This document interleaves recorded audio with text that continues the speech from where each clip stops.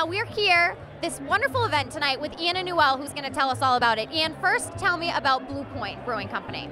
Awesome. So, uh, Blue Point Brewing Company, we're based in Patchogue, Long Island.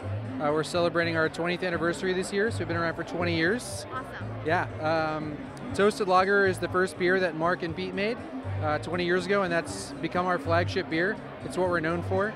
Uh, about 65% of our total business comes from Toasted Lager, so that's pretty amazing. And uh, tonight we're celebrating a new beer called Heal the Harbors. I love it. And what's kind of the flavor profile on that? Uh, it's an easy drinking pilsner, uh, clocks in at about 5.8%, uh, 30 IBUs, uh, but it finishes nice and clean. It's uh, it's delicious. It's easy drinking.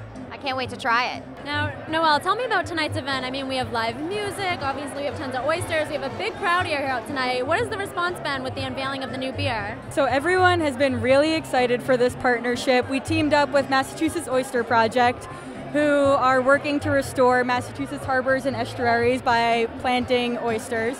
And a single oyster can filter up to 50 gallons of water a day, believe it or not. So that really helps to improve water quality and just combat the effects of climate change.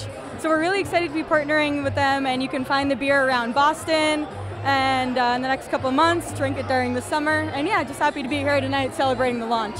And I assume that's what you're drinking tonight. Can you tell me a little bit about the flavor? What does it taste like? Yeah, so this is a very crisp, easy drinking beer. It has a nice lemon lime aroma, but it's balanced by like some subtle honey notes in the malt body. So just great for the summer, drinking with an oyster or just on your favorite patio or waterfront spot. Well, a perfect night for it tonight with this open patio barking crab and definitely compare it with some great oysters. So I can't wait to try it later tonight.